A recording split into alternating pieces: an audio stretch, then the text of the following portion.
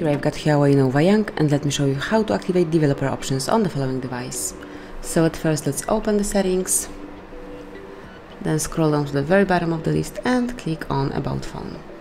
Now locate the build number and hit it 7 times and as you can see now you're a developer so let's go back and here developer options appeared you can smoothly open them and use all the useful features all the very advanced options so whenever you want to just come along with them and then perform some adequate operation and then whenever you want to switch them off just click on this switcher and as you can see they are no longer active so you can go back and then if you would like to use them one more time smoothly